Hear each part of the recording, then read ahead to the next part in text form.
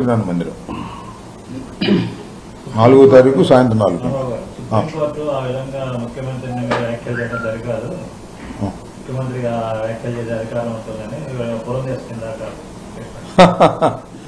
సరే ఇప్పుడు ముఖ్యమంత్రి కాదు కాదు. ఇప్పుడు చట్టం ముందు ఎవరైనా సమానులే. సుప్రీంకోర్టు ముందు ప్రధానమంత్రి అయినా ముఖ్యమంత్రి అయినా ఎవరైనా సమానం కింద లెక్కే. ఒకసారి కోర్టుకు వెళ్ళిన తర్వాత పురంధరేశ్వరి గారి వ్యాఖ్యల్ని పూర్తిగా ఖండిస్తున్నాను ముఖ్యమంత్రికి కాదు ఎవ్వరికీ కూడా అన్యాయంగా వ్యాఖ్యలు చేసే హక్కు లేదు. నేను చాలా సందర్భాలు చెబుతున్నాను ఇవాళ సుప్రీంకోర్టు విచారణలో ఇవాళ ఈ వి- ఈ వివాదం విచారణలో ఉంది కాబట్టి దాన్ని ఎక్కువగా నేను మాట్లాడకూడదని అనుకున్నా మీరు అడిగారు కాబట్టి పురంధరేశ్వరి గారు ఆ కామెంట్ చేశారు. ముఖ్యమంత్రి గారికి హక్కు ఉందని. నో.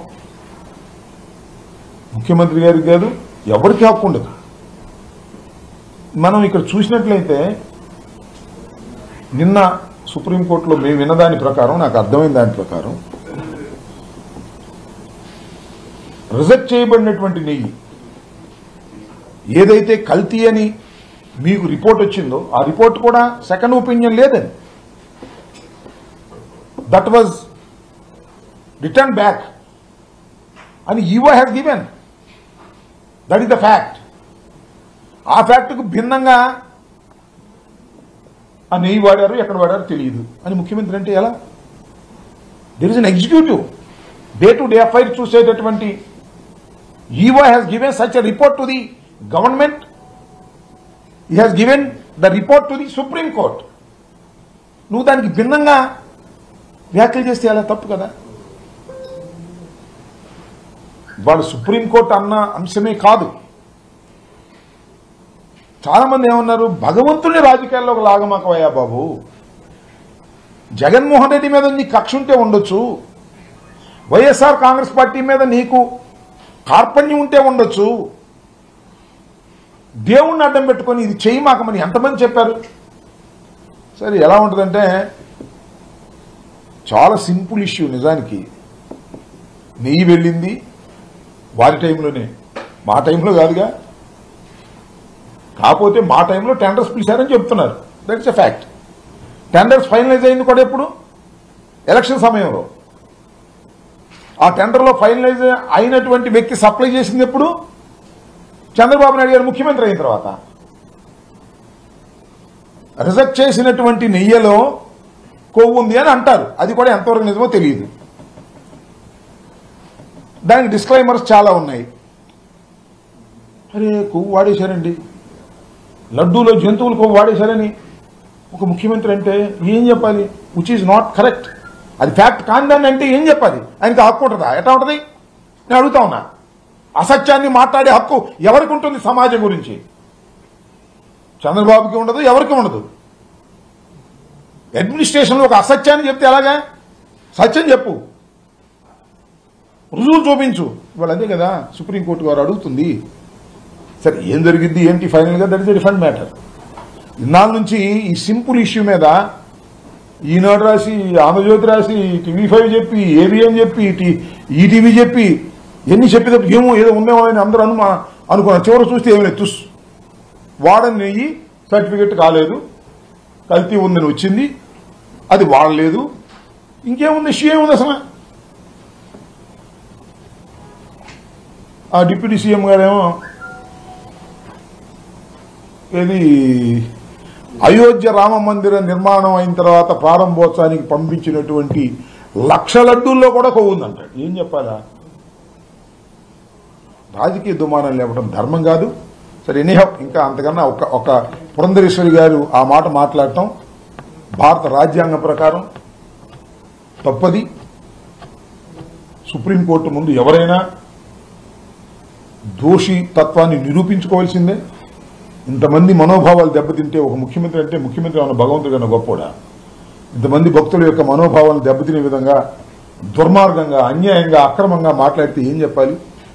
సో దాన్ని నేను తీవ్రంగా ఖండిస్తున్నాను. ఎవరు తప్పు పట్టండి? తీర్పు మీద వ్యాఖ్యలు సుప్రీంకోర్టు తీర్పు మీద వ్యాఖ్యలు చేయటం అంటే మళ్ళా మీకు సుప్రీంకోర్టు కన్నా పెద్ద ఉంటే అక్కడ చేయాలి కోర్టు ముందు చేయాలి మీకు ఇప్పుడు నేను గవర్నమెంట్కి దెర్ ఇస్ అడ్వకేట్ అలాగే సుబ్బారెడ్డి గారికి there is advocate supreme court advocate అలాగే సుబ్రహ్మణ్య స్వామి వాళ్ళు మాట్లాడతారు కోర్టు ముందు.